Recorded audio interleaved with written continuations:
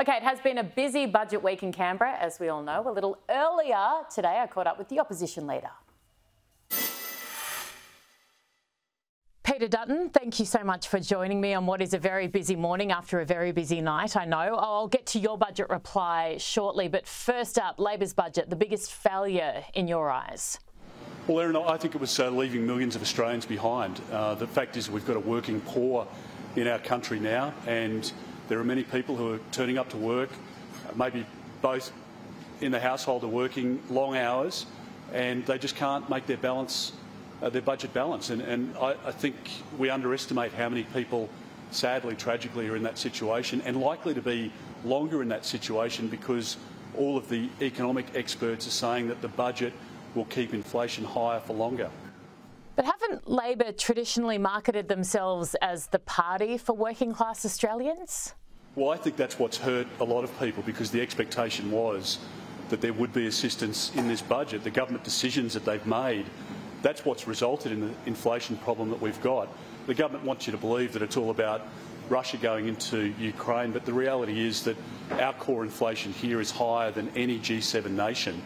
And that means the problem is of a domestic nature. And I think there are a lot of families, as you rightly point out, working class families, who thought that Labor would come in to provide support in this budget, and there's been none of it. And not only that, from the 1st of July, 10 million Australians on incomes of $126,000 or less will be on average about $1,500 a year worse off. So the problem is only compounded uh, over the course of this year. And also, in the budget papers, which the Treasurer forgot to mention in his speech on Tuesday night, electricity prices will go up by about $500 again over the next 12 months. Well, that is not what they promised us during the election campaign. Well, it's not. And there are about 12 election promises that have been broken just within this first year, and there's still a lot of scepticism around whether they will adopt the stage three tax cuts that we legislated when we were in government. Uh, if not, then that will be a further blow to uh, to many many Australians who are thinking that there's at least a bit of relief coming down the, down the line.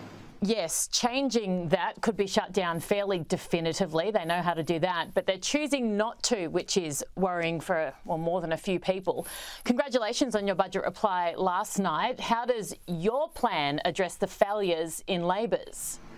Well, Erin, I hope that we spelled out last night uh, some of the, the, the, way in which we would approach the problem in a market where we've got uh, almost you know 440,000 job vacancies. We've got over 800,000 people uh, on unemployment benefits, and the government's proposition was to increase the base payment by $40 a fortnight. Some people would say that that would provide a further incentive to stay on that welfare payment instead of getting into one of those jobs. Our approach was to say, well, let, us allow people to work an extra shift or two to earn more than the $40, but through their own efforts and the introduction to that job might lead to a third or fourth or fifth shift or maybe full-time work because there are plenty of businesses who just can't get people to fill those vacancies.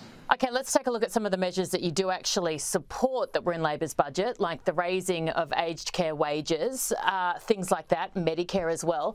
Why didn't the coalition do more in those spaces when you were in government? We invested about $30 billion into aged care. But the aged care system in our country, you know, to be honest, has been broken for decades. Uh, Scott Morrison commissioned the Royal Commission into aged care. Uh, the problems had been there in the Howard years, in the Rudd years, in the Gillard years, in the Abbott and Turnbull years. Uh, it's a problem of an ageing population. It's a problem of expectation within our society. Uh, obviously, we've got many cases of people uh, being diagnosed with early dementia. Uh, I, I, want a dignified, respectful aged care system. And it does cost money, but there's no magic pudding for it. The money either comes from the government or it comes from people who are going into the aged care system, and we need to make sure that the money's spent efficiently as well. So I think there's a debate there that um, we can have with the government to see what sensible reforms they might have that we could support and uh, it makes it more sustainable, and I think uh, it's a more respectful system if we do that. Now, I do want to compliment you on your pledge to put the number of subsidised psychologist visits back up to 20. Your government increased it during the pandemic. Labor has decreased it back down to 10. This is really, really important stuff. I was listening to some criticism of it from the government this morning, saying that it would cost around 100 million. In my eyes, uh, that is something that uh, that is worth paying. Uh, well, th thanks, Erin. Um, you know, and there's you know many stories we hear across the country. Uh, when, when, we were in government, we increased the number of services from 10 up to 20, and for people to get well and to deal with their mental health issues, they need that level of contact with their psychologist. The problems in many cases just aren't, aren't resolved, or people aren't put onto a better pathway after 10 sessions. And I must say that I, I was amazed when the government reduced it from 20 down to 10. Uh, and I'd made my mind up uh, a fair while ago, to be honest, that I would increase it back to 20. Uh, and I thought the government would rectify the problem on Tuesday night, and I was surprised, to be honest, that they didn't. So we made the announcement in the budget reply speech last night to increase the number of sessions from 10 to 20. Uh, Mark Butler, the health minister, is out today saying that that's lazy policy.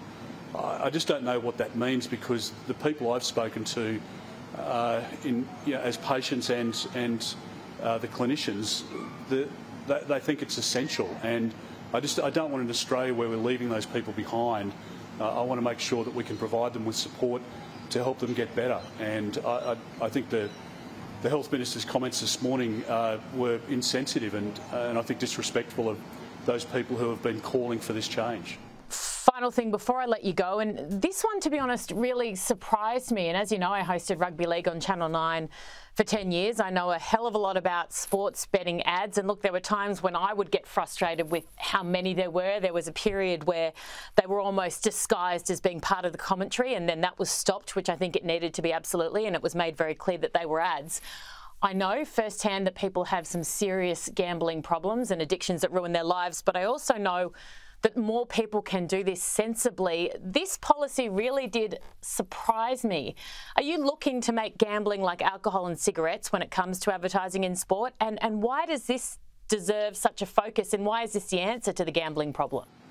Well, Erin, I, think I thought it was the right thing to do for families. Uh, uh, you know, I, am happy to have a punt like uh, most people and do it responsibly. Um, but I don't want to sit there with my 15-year-old or 16-year-old son or daughter during a sports match and for the conversation to be dominated by a discussion on multis and odds and who's going to score a first try and uh, it, it, takes away from the experience and from uh, what should be an enjoyable family time. I just think footy time's family time and we, we've said that for an hour before a game starts until an hour after the game finishes, that should be the period where you can just watch the game in peace uh, instead of being bombarded with ad after ad after ad. And I think there's a sense of balance that's required here. And I also think there is an element of a cultural shift in Australia, which we need to be very conscious of. Uh, you see kids being exposed to gambling and the normalisation of gambling.